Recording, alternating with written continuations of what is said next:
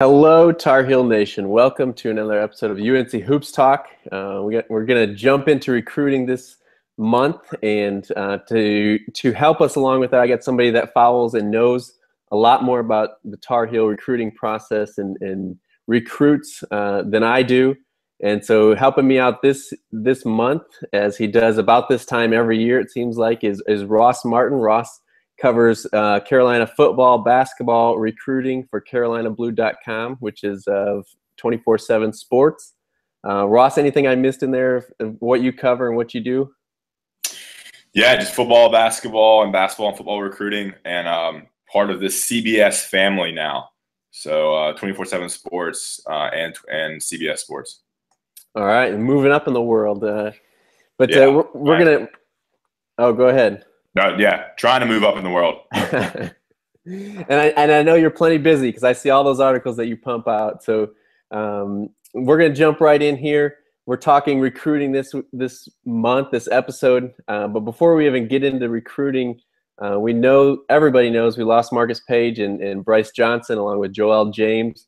Uh, so Ross, uh, just amongst the players returning, who do you kind of see stepping up into you know the leadership role that we lose with with both guys, but especially Marcus, and then obviously the production that Bryce gave us last year. Who who fills those gaps for us? Yeah, I think you have to look at Joel Berry taking a bigger role uh, as the point guard, now playing without Marcus Paige. He's going to be the guy. And you kind of saw what he could do last year. I mean, I thought he, was, he played better than Marcus Paige did, more consistently, a little bit better three point shooter. Um, I mean, he I mean, he was really impressive the last half of the season, especially in the ACC tournament, and then had some big games as well in the NCAA tournament.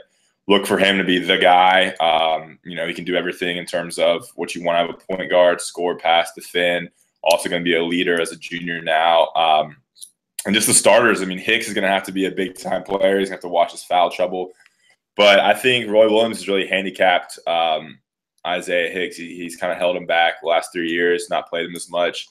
And we saw what he could do last year as an explosive, powerful, athletic power forward who can, uh, you know, kind of kind of take control in the paint and do a lot of things in terms of uh, driving with the ball, and then his jump out of the gym leaping ability is big for rebounding and obviously dunking and things like that. Um, you know, Kenny Meeks gonna have to step up as well. There's a lot of scoring to make up for with Bryce Johnson out think we know what Meeks is. I don't think we can expect him to be some 15 point, 10 rebound guy. I think you're going to see about 10 points, you know, six, seven rebounds, but you need that consistency because he's going to be a starter. He's going to have to play, you know, 20 to, to 30 minutes a game alongside Hicks because um, there's not much behind them. And then Justin Jackson is going to have to step into a leadership role and really show what he can do offensively. He's going to have more shots, more opportunities to score from deep. And I think he's shown flashes of what he can do in some big 20 point games. But again, that shooting consistency hasn't been there. And you want him to be the superstar. You want him to be the the, the 16 to 18 point game, a guy who can uh, who can knock down three or four threes a game. And um, in an ideal world, you know, those four players step up and, and UNC doesn't miss a beat they did lose two big time scorers and big time leaders in Bryce Johnson and Marcus Paige. And then Theo Pinson's gonna have to step in and, and be kind of do what he's been doing, but just at a higher level with more minutes. And so obviously, you know, you name uh, a lot of returning players and and and kind of, you know, how I feel too is it's not one person stepping up, you know, maybe as much as Bryce did last year, but it's everybody's got to be more consistent is a word I heard you say a lot and then, you know, just step up the production as well. Yeah, I mean, and I think they're ready to do that. Um, these guys have played, you know, these guys have all been starters. Hicks has started some games. Meeks has started as a freshman, sophomore, and and uh, junior, and then um, you know Jackson and Berry and Pinson have all played a lot. So it, it's not like Roy's asking a lot of these players to step in. It's kind of the general progression of what you expect when you come to Carolina. You contribute as a freshman, sophomore, and then you become a star as a junior and senior, and take that next jump, and that's what um, we expect from these guys. And I think all of them are capable of doing that. Um, even Meeks, who struggled, especially last year, still showed flashes of what he can do um, in the NCAA, tournament, which was big. So, right. And so those are all upperclassmen uh, that you mentioned there. You know, obviously we have Kenny Williams, Luke Maye coming back, and hopefully they make a nice uh, jump from freshman to sophomore year. But let's concentrate now on the incoming freshmen. We've got Brandon Robinson on the wing. We've got Tony Bradley adding some depth down low, and uh, Seventh Woods to the guard position. What do you expect, uh, or what can we as, as Tar Heel Nation expect from these guys their freshman year? Yeah, Tony Bradley is the one name that is is huge because he is going to be the backup center. He's going to come in as the first big man off the bench, and um, UNC is going to have to count on him to produce. Um, you know, if if Hicks or Meeks picks up two fouls early, it's going to be Tony Bradley who's going to be that that starting. I put starting in quotation marks, starting uh, big man. You know, he's a six ten guy. I think got, he became a fifth uh, five star player at the very end of his prep career. Um, he's not super athletic, but he's consistent. He is uh, very fundamentally sound. He's a good player. Um, and that's the guy that's going to have to be counted on the most. And um, I mean, what he does and what he does early is going to be uh, play a big role in what UNC can do this season. If he can't come in and perform, then UNC is going to struggle. There's no uh, way around it. So that's a lot of pressure on him. And I mean, Luke Maye will play some too as a as a power forward, but he's limited um, with his size and his athleticism. And you can see he played some last year, but he just wasn't very effective offensively. Uh, beyond uh, Tony Bradley is Seventh Woods, very dynamic, explosive uh, combo guard. See him being kind of a backup point guard and also uh, playing alongside Joel Berry and Theo Pinson, and then Brandon Robinson, who is uh, 6'5", you know, 170, very skinny, long, lean shooter. Um, but UNC is stacked at the at the guard and combo guard position you know, you look at Brandon Rom, um, yeah, Brandon Robinson. He's gonna be playing behind Jackson and Pinson and Kenny Williams. So I don't really know how much he's gonna play, and you know, you don't really know until you see these guys out there and how they how they mix in and, and, and where they're gonna be needed. But I don't see Seventh Woods or Brandon Robinson playing too much unless they're just they come in and, and you know they supplant uh, somebody like Nate Britt or, or Theo Pinson or Kenny Williams, who's who've been in the program for a couple years now. Right. So, and it sounds, you know, again, uh, like you're saying, Tony Bradley is probably what we can expect the most of it more because of necessity. You know, we didn't just until you just there said Nate Britt, we haven't even brought him up as a senior guard, you know, to bring leadership and stuff. Um, long term, out of these three, who who makes the biggest impact on the program? Um, yeah, probably Bradley. I mean, I think Bradley's the highest rated player, and I think he's going to be a four year player. Uh, I mean, Seventh Woods is, is good too. Um, he had a lot of hype, you know, a couple years ago. Yeah, and Seventh Woods is the biggest name because he he burst on the scene as a freshman with that dunk, and he's kind of been around. You know, he's been recruited for four or five years, but he's six two. Um, you know, I don't know. I think Bradley is going to be a guy that's going to be a very good player. Could, this guy could be a you know first team All ACC guy as a junior and junior and uh, senior, kind of like a Bryce Johnson. You start off pretty raw, and then they come to your own. And when you play four years in college, you're, you're going to get good. So that's what I would say. All right. So we we obviously have a lot of depth, uh, a lot of people we can turn to this year. As long as we have the consistency, we should have another top ten season. Uh, should be really exciting. But let's because it is the off season, we get a little chance. So let's look at recruiting a little bit. And and this is uh, you know a, an area where you blow me away with your coverage uh, and your knowledge about it uh, much more than than I follow or could even um, keep everybody straight. So let's first take a look at next year. I, I've, I, I believe it was you that I saw an article written that this is uh, Roy Williams' most important recruiting class, the class of 2017. Uh, we have Jalek Felton already signed. We just recently signed, I think it was Andrew Platek, if that's how you yeah, say it. I think it's Platek. Platek. Uh, yeah. so so just go through. Um, you know, I think people have probably seen the highlight tapes, uh, kind of know what they expect from Felton at least. Uh, you know, tell us a little about Platek, and then who else are we looking? Who are we going to get? Who's at least a, a likely candidate, or who do we need maybe? Yeah, yeah, and, and you're right. And I wrote that article about how um, the 2017 class is so important. I just want to go back and talk about that because of what UNC loses. They lose uh, Meeks, Hicks, and Britt for sure. They could lose Jackson and Pinson, or sorry, Jackson and um, Berry Berry to the NBA. and they also undersigned last year. So they could have taken four or five last year. They only got three. So it opens up more scholarships. I mean, so they could sign a class of anywhere between four to six guys. You know, it's a huge class. Um, and that's why it's so important because if all those guys leave, I mean, there's not much left. You're going to have to have guys who can step in automatically and play. You know, these one and done guys, these five star studs who can come in and be automatic contributors. And so that's a, I mean, it, sucks that UNC is going to have to, going to have those gaps.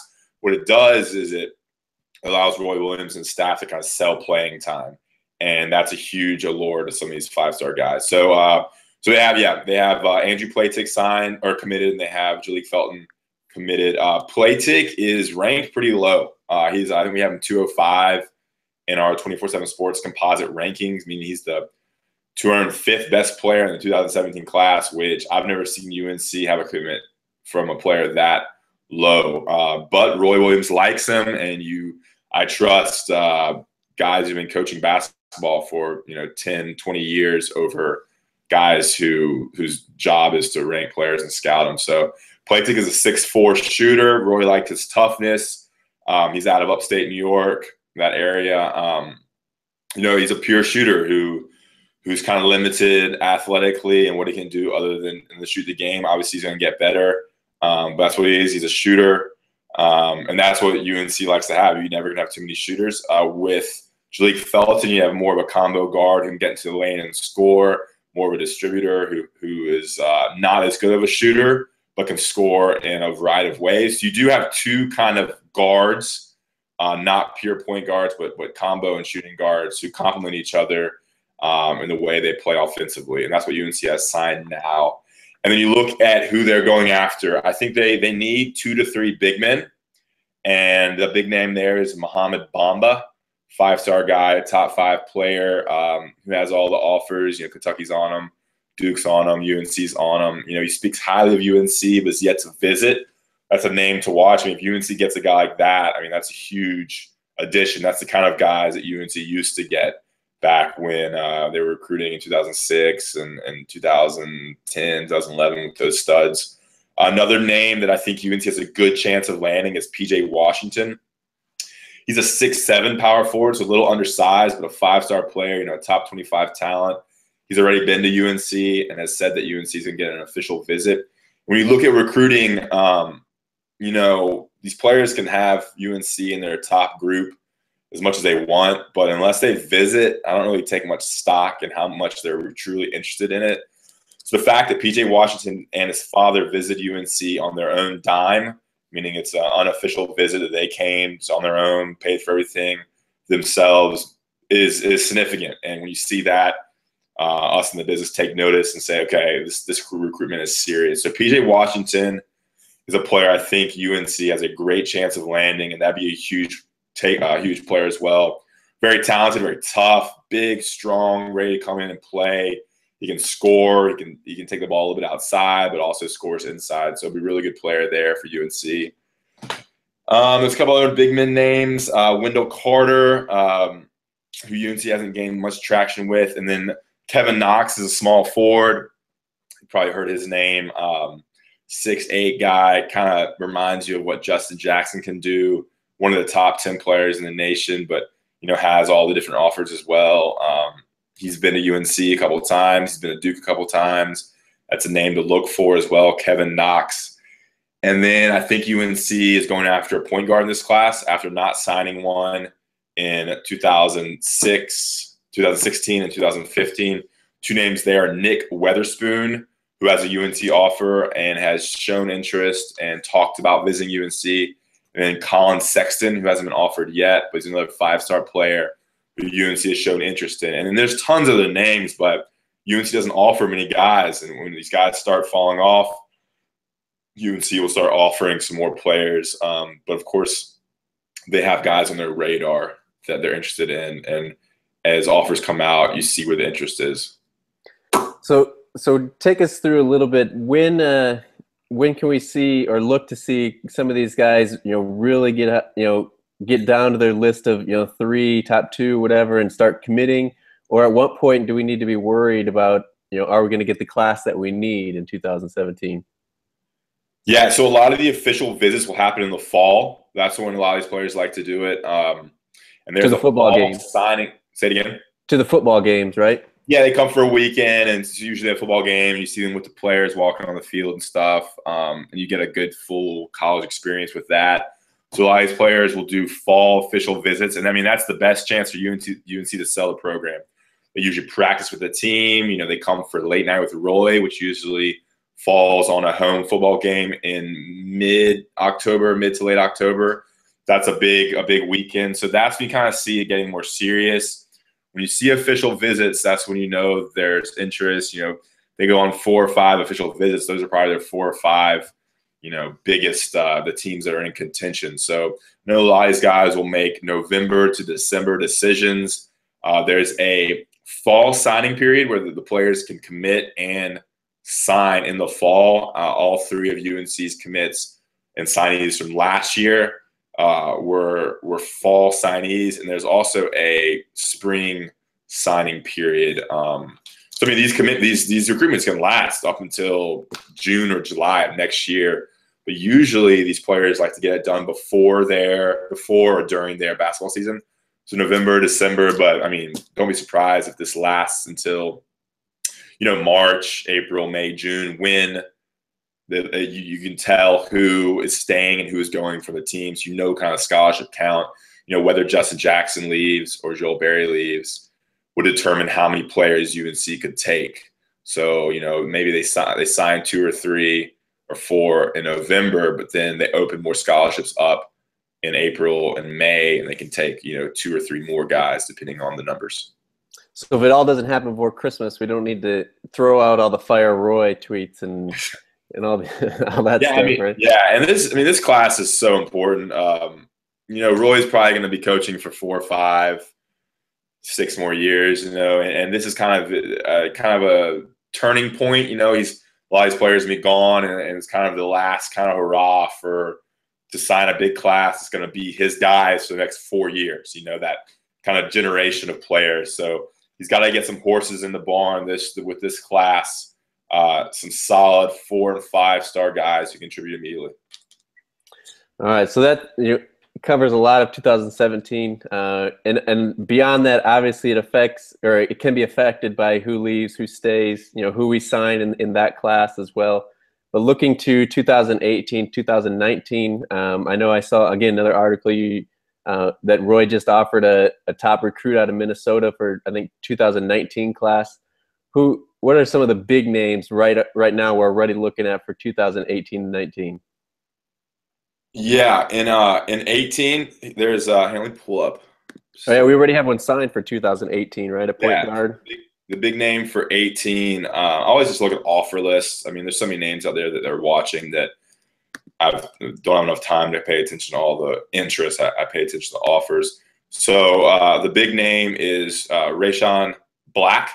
His nickname is Leaky, and uh, he's out of Concord, North Carolina. He's actually going to a prep school uh, in Florida for his next two years. He's a six-five, six-six point guard, which is a, which is a big get. And once you get that point guard in, you know that that is attractive to players to, sh- see who's going to be you know, giving them the ball, what kind of ball handler they have. So that was a big get. In-state guy from Charlotte uh, with great size. You know, um, six five, six seven point guard. Those are hard to find. And then a couple other guys that have offers is Devon Dotson, another point guard out of Charlotte. A recent offer, Zion uh, Williamson out of uh, South Carolina, five star stud, top 10 player Her UNC has some traction with. He has tons of offers as well. I know Duke's in his recruitment. Um, that's a guy to watch. Recently, he was offered on Monday night. Uh, Jairus Hamilton or Jairus Hamilton, I'm not sure I'm saying that right. He's at North Carolina as well. He's been to a bunch of games already. Six eight, small forward. So have these in-state guys that that UNC is is offering and, and getting some traction with. And another guard UNC offered on Monday is Coby White out of uh, Wilson, North Carolina. Not as highly ranked, uh, four-star guy. But you know, UNC offered obviously shows some interest there, and no big men have been offered yet uh, in the 2018 class. And I expect a couple more of those offers to come out this uh, this month and into August as UNC evaluates who they want to go after in that class. So um, obviously they're they're looking to sign another point guard alongside alongside Black and, and get some studs there as well. So and and you talk about all these guards that uh, are being offered in the top of the class and stuff, and even you know for this next class you say we still need a couple of bigs. Is that a trend just with North Carolina that Roy, you know, after Kendall Marshall's injury, you know, just wants to have a surplus of point guards? I mean, we see it already on the team now. Is it just uh, the culture of basketball going to kind of the small go- the small game, uh, small lineups where the big guys, you know, play kind of wherever? Uh, w- what do you contribute that to? Is it just kind of how the classes line up? Yeah, I mean, I think it goes back to the Kendall Marshall deal where, where Roy didn't have enough point guards because he's always since then he's always looked to sign, you know, at least one or you know one every at least one every class. Sometimes two in a class. You have Paige, Berry, and Britt on the same team, and then this coming up year you have Berry, Britt, and and and uh, Seventh Woods can play guard. So I think he likes to have three scholarship players who can handle the ball and be a point guard in case of injury, and that um, that's where he's done since uh, since then. And yeah, I mean, I think Roy likes the balance. He likes having big men. He legitimately likes to have two guys above six eight, six nine who can score inside and foul out the other team. But you are seeing a trend among players of big guys who can play multi positions and aren't just a center. You know, they're a they're a, uh, so spread four or a power four to come out and shoot the three, and you see more diverse styles of big men. But Roy's always going to look to recruit um, traditional big men. But you're seeing less traditional big men that exist. Uh, Harry Giles, who committed to Duke, is a guy who can kind of play all over the court, but he's still six nine, six ten. So you're seeing a lot more players who can um, who aren't just back to your basket players like UNC fans are used to seeing. And can we ever expect uh, Roy to get as into the one and done as you know Duke has now, Kentucky? Is that ever going to be a trend in North Carolina basketball while I mean, Roy's there? I think he's trying to. I don't think it's any lack of effort. People ask him that, but he goes after these big guys. They just don't commit, and I don't know why. I don't know if because I mean Cal and K are doing it. Maybe because of uh, USA basketball with Coach K and Calipari just got things rolling with the one and done, being that kind of one and done coach. But I don't think it's anything Roy's doing in particular. I think it's just how basketball recruiting has trended recently. And because he went after he went after Giles, went after Tatum, went after uh, Dennis Smith. He goes after these top ten guys, but when they don't pick UNC, you have to step back and take the the top forty guys that are going to stay three or four years. And you know that um, Marcus Paige's class with Bryce Johnson and um, and Tokoto and uh, Joel James in that class took him to a Final Four to kind of see the payoff long term of stepping back and recruiting guys maybe not as talented incoming as a freshman, but who um, over over four years can develop, become studs, and lead your team deep to the tournament. So it's kind of a, um, switch off whether you want that instant contribution or build your program and build your players over three or four years. And well, and when you're stacking your roster with three or four year guys, you don't get as many chances to do the one and done because you know they're committed to scholarships, correct? Yeah, it's true. Yeah, I mean, it's kind of um, you know when you when you start doing one and done, there's always going to be scholarships open after those guys bounce. That's what Kada, I mean, Calipari does. You know, he gets five or six five stars in, and the next year they're gone, so he gets five or more. And this year, I mean, going to have scholarships, so they should be able to lock in some of these studs who could be one and duns or could be, you know, to your players because there's going to be a lot of minutes available. But Roy always likes seniors, and so the seniors are going to play, and that's going to detract from his ability to land guys who want to come in and be the man. Right. All right. Well, that's a lot of names thrown out there. Is there anybody else, any other names that you want to throw out there uh, on the recruiting trail that Tar Heel fans should be watching for? Um, you know, be paying attention to it all before we let you go.